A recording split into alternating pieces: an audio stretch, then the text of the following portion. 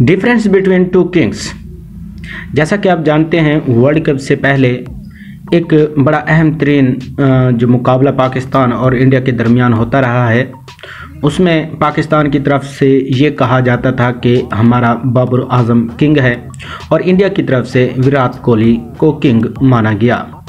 तो अब इन मैचेस में जो कि पाकिस्तान और इंडिया के दरमियान और इसके अलावा बाकी तमाम मैचेस जो पाकिस्तान खेला है इसमें हमारे किंग जो कि बाबर आज़म है, उनकी क्या कारकर्दगी है और इसी तरह से जो विराट कोहली हैं, उनकी क्या कारकर्दगी है, इसी के बारे में हम इस वीडियो के अंदर से थोड़ी सी बहस करने जा रहे हैं। आपको बताते चलो कि जो ये चार पाँच मैचेस हुए हैं, जिसमें बाबर आज़म की कारकर्दगी अगर बताई जाए और विराट कोहली की कारकर्दगी बताई जाए तो विराट कोहली जो है 100 परसेंट बाबर आज़म से आगे हैं। आपको बताता चलूँ कि पहला मैच जो बाबर आज़म खेला, उसमें उसने 10 स्कोर बनाए और 15 गेंदें डाली हैं। तो इसी तरह से 15 गेंदों के अंदर उन्होंने 10 स्कोर बनाए।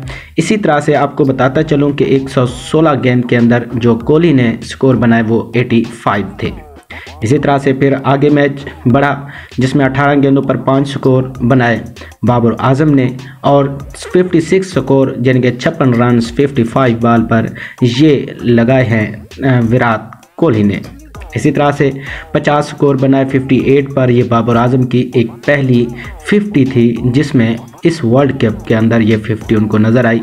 और इसी तरह से 16 पर 18 बाले पर ये कोहली मैच में सिर्फ़ पहले इस मैच में 50 से कम स्कोर बनाए हैं। इसी तरह से फिर आगे मैच हुआ जिसमें 18 स्कोर बनाए और 14 गेंदें खेली बाबर आज़म ने।